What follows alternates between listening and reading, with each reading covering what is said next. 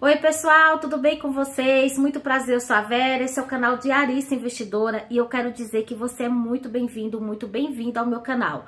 No vídeo de hoje a gente vai ver quanto é necessário né, para estar tá se comprando quantidade X de cotas para se receber aí 50 reais ou 100 reais de proventos do Vigia 11, sim, Vigia 11 é um fundo de investimento, né, do agronegócio, é um FIAGRO, tá? É muito parecido com os fundos imobiliários, dá para se dizer até que é um priminho ali dos fundos imobiliários, mas é um fundo de investimento do agronegócio, né? Diferente do fundo imobiliário, que é um fundo de investimento, né, no setor imobiliário. Bom, gente, a verdade é que esse fundo tem distribuído aí bons proventos, tá? Ao longo da sua história, de sua existência. Ele é um fundo novo e claro, né, que desde quando ele surgiu, ele é um fundo totalmente atrelado ao CDI. E o que que acontece? O CDI estava, sempre esteve alto por esse período, tá? Agora o CDI começa sim a ter uma queda por conta que a Selic está caindo. E por que que a Selic está caindo? Porque a inflação estava controlada. E como a inflação inflação estava controlada, a Selic ela começa agora a ter queda. Por quê? Porque não há uma necessidade de elevar os preços para baixar mais a, é, é, a inflação, que é o indexador né, ali do IPCA, tá? A verdade é, gente, também que eu tinha o Vigia 11, tá? Na minha carteira, eu vendi o mês passado. E muita gente sabe que né? Eu vendi por conta de concentração do PL alocado, né? Em certas empresas e eu entendi um alto risco. Claro que eu também sempre entendi que a gestão ela é ativa, sempre fazendo remanejo ali na carteira. Porém, quando eu me desfiz, tinha uma grande concentração, né? do PL, tá? E ele, dessa vez agora, gente, eu trago boas notícias porque as coisas estão mudando, tá? E a gente vai ver isso no relatório do gestor. Claro, mas agora a gente vai dar uma olhadinha no que? Quanto que é necessário para se receber aí 50 reais de proventos do Vigia 11? Bem, gente, eu já estou aqui dentro da plataforma do Clube FI. E aqui a gente já vê que o valor da cota do Vigia 11 está 9,28 centavos, tá? Dando uma olhadinha aqui na cotação do Vigia 11, foi um fundo que oscilou né, bastante ele estava aí na casa de 9 é, e 87, chegou aí a 9,50. Inclusive, quando eu tinha, comprei bastante a 9,50, 9,49, 9,52. E aí, né, teve uma quedinha brusca aqui, olha. A gente vê aqui, chegou a 8,80 no dia 29 de agosto, né?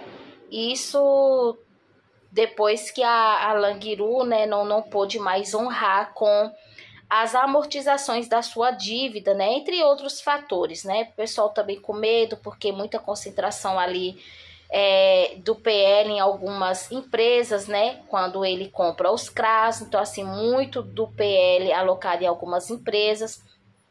E, claro, gente, hoje está aqui, ó, 9 e aqui tá 9,28, tá? Correspondente ao valor que tá aqui. Mas eu quero ir agora, gente, ao, aqui ao menu dividendos, tá? Vem aqui na barra aqui da lateral aqui do Clube FI, né, tem um menu muito bem organizado, tem como você simular aqui renda, é, fazer simulações aqui com 5, 10 anos investindo no mesmo fundo para ver se valeu a pena né? E aqui, gente, tem quanto que ele pagou esse mês. Inclusive, esse mês foi o mês que ele pagou seu último, seu menor dividendo, tá?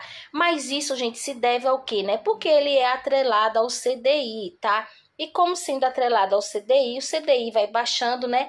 As suas dívidas que ele tem para receber ali, o caixa também vai baixando um pouquinho, tá? Então, aqui nos últimos, no último mês ele pagou 12 centavos. É, nos últimos três meses dá um total de 38 centavos, em seis meses um total de 78 centavos e em 12 meses um total aí de 1,64 centavos. Desde o IPO ele já distribuiu por cota aí 13,17 centavos, mas a gente vai pegar esse valor aqui, né, de 1,64 centavos, que foi o que ele distribuiu, né, por uma cota nos últimos 12 meses.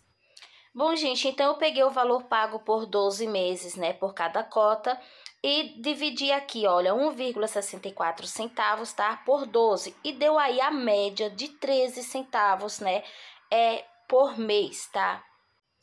Agora é só pegar o valor de 50 reais, que afinal de contas é o valor que nós desejamos receber, né, nessa simulação, e dividimos aí por 0,13 centavos e dá um total de 384,61, 53, 85. E para evitar qualquer erro, então agora eu vou simular a seguinte conta. Bom, vocês viram que o resultado lá em cima ia dar 384, né? Nesse caso é a quantidade de cotas, mas para evitar o erro, então vou calcular aqui 385 vezes 9,28 centavos, que é o valor da cotação no momento que eu gravo esse vídeo, e daria um total aí de 3.572,80 centavos, para estar tá se comprando aí 385 cotas a 9,28 centavos e receber, né, aí 50 reais de proventos já no próximo mês. Caso, né, caso o fundo venha aí distribuir 13 centavos por cota, né, com ele considerando sim a média, tá?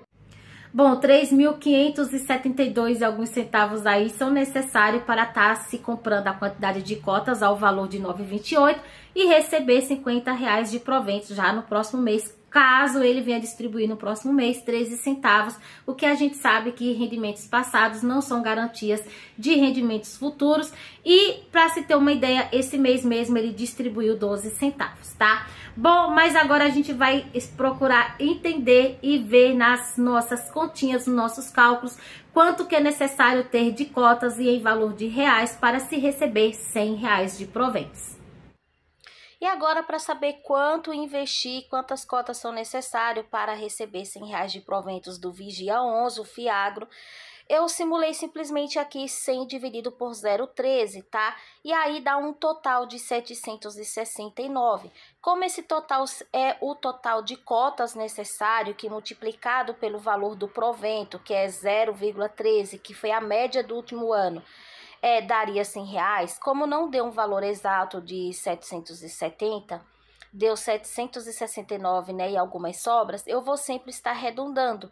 Então, eu vou colocar aqui 770 cota, tá? E a gente vai multiplicar e vai saber quanto que é necessário, claro, para se receber 100 reais do Vigia 11.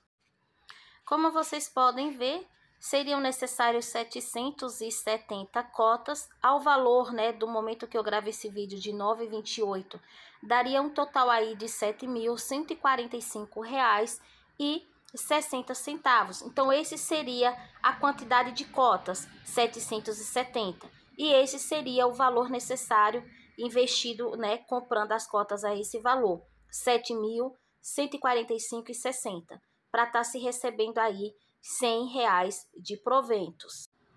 Bem, gente, eu tinha o Vigia 11 na minha carteira, né? Muitos já sabem, mas para quem é novo, eu vou relatar o motivo que eu vendi, né? Pelo qual eu vendi o Vigia 11. Como a gente pode ver aqui, né, no relatório de agosto, tá? A gente vê altas concentrações do PL aqui, como por exemplo, tá? 18% do PL aqui alocado para Bela Agrícola, ou seja, né, investidos em CRAS da Bela Agrícola, né? O que passaria aí, né, bastante dinheiro, gente. Quando eu entrei nesse no Vigia 11, ele tinha 25 ou 22%. Para vocês terem ideia, passava de 200 milhões do patrimônio alocado nesse nesse CRA da Bela Agrícola, né? Mesmo assim, a, a gestão começou a diminuir, diminuir. Quando eu saí, ainda estava em 18 e eu achava um PL muito alto, né? Mas é claro, gente, que eu vou mostrar para vocês, né? Como eu já sabia e relatei também, a gestão ela faz, ela tem uma gestão ativa, né? E ela já vinha diminuindo posições em algumas é, exposições altas, né? Do, do PL do patrimônio. Bem, gente, aqui está, né, uma boa notícia, tá? A gestão, né, da Valor aí, ela está diminuindo cada vez mais e como vocês podem ver agora, ela até colocou o Bela Agrícola lá na parte superior, porque o correto é diminuir, né, vindo do mais alto, né, para o, o menor valor em exposição de PL. Então, aqui ela colocou o Cotribá tá 9,56% do PL, alocado nesse, no CRA dessa empresa Cotribá. No CRA da Bela Agrícola está 9,54%. No CRA Fiagril, 9,15%. Aí cai para 7,80%, 7,13%. 6,87. Bom, a verdade é que para se ter um, um, um, fôlego maior, né, uma, uma exposição menos arriscado, o ideal é ter abaixo de 5, no máximo 5, tá? Então, eu acredito que esses esse, essa porcentagem do PL aqui alocado nesses CRAS que passam de 6%, eu acredito que a gestão ainda vai continuar fazendo o seu trabalho de diversificação de venda né, de, desses CRAS, de parte desses CRAS, para estar tá alocando em outros CRAS e assim estar pulverizando, diluindo né, o patrimônio em mais empresas e assim diminuindo o risco, tá? Isso é na minha concepção. Mesmo assim, a gente deve saber que é renda variável e, por se tratar de fundo de crédito, tem um risco de inadimplência, de calote, tá? E aqui parte dessas movimentações, né, a gestão traz aqui, tá, no comentário do gestor, falando que o fundo encerrou o mês de setembro de 2023 com 94,6% do seu patrimônio líquido alocado em CRAS, distribuído em 27 ativos, no total investido de 777,5 milhões.